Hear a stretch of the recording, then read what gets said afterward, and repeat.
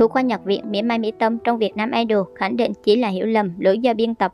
Hà Uyển Linh thừa nhận phát ngôn đang gây tranh cãi của mình là do không kiểm soát được cảm xúc. Cô cho biết chính cách biên tập của chương trình đã gây nên hiểu lầm không đáng có này.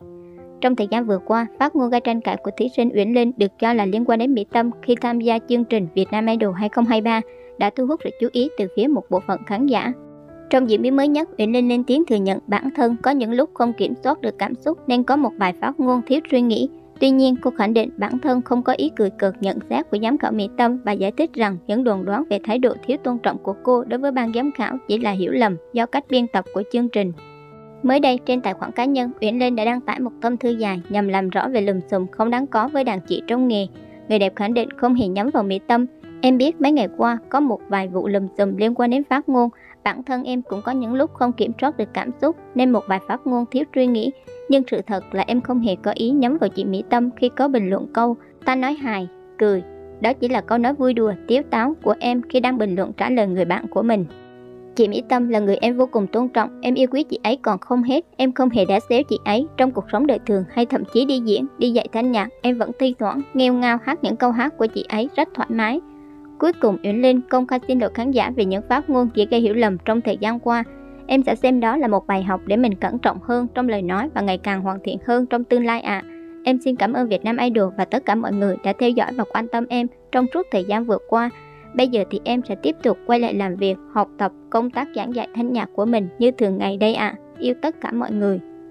Hà Uyển Linh cũng nói thêm cô buồn khi đoạn trò chuyện với ban giám khảo, khoảnh khắc cô ôm Mỹ Tâm hay vành đàn chị hỏi về thông tin cá nhân của cô đều bị cắt bỏ. Điều này khiến một số khán giả hiểu nhầm nữ thí sinh tự khoe thành tích.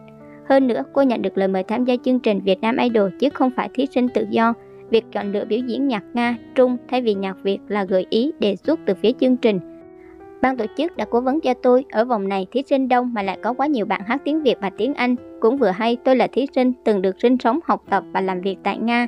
Do đó, chương trình khuyên nên chọn vài ca khúc nước ngoài, tránh ca khúc Việt Nam và tiếng Anh cho đỡ bị trùng màu và bị nhàm chán. Do vậy, tôi mới hát ca khúc nước ngoài để đáp ứng theo đúng format đa dạng màu sắc mà chương trình mong muốn chuyển lên cho hay. Bên cạnh đó, phía ban tổ chức Việt Nam Idol vẫn chưa có động thái lên tiếng về ồn ào liên quan đến thí sinh Hạ Uyển Linh. Ở dưới phần bình luận, Dương Thành Đạt đã lên tiếng bên vực Uyển Linh và cho rằng cô là người luôn quan tâm, chăm sóc tới mọi người xung quanh. Thời gian ở Phú Quốc, anh bị cảm mất giọng và em đã cho anh thuốc để uống.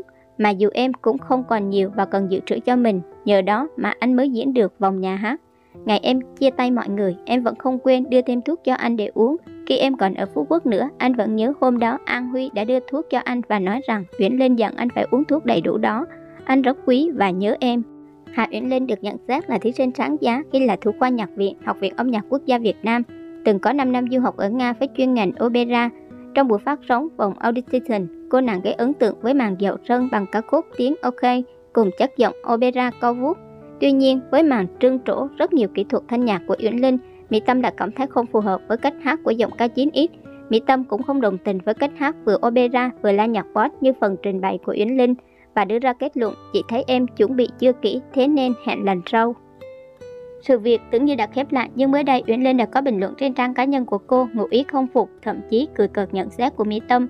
Cụ thể, trước đó Mỹ Tâm không hài lòng với cách xử lý hát to hát nhỏ của Uyển Linh. Một người bạn của Uyển Linh đã chụp lại và chế giễu. Em đang hát to, hát nhỏ, nghe buồn cười quá. Uyển Linh đã để lại bình luận cười cợt đồng tình, thậm chí còn sử dụng ngôn từ thiếu chuẩn mực, đặc biệt khi nói đến một tượng đài như Mỹ Tâm.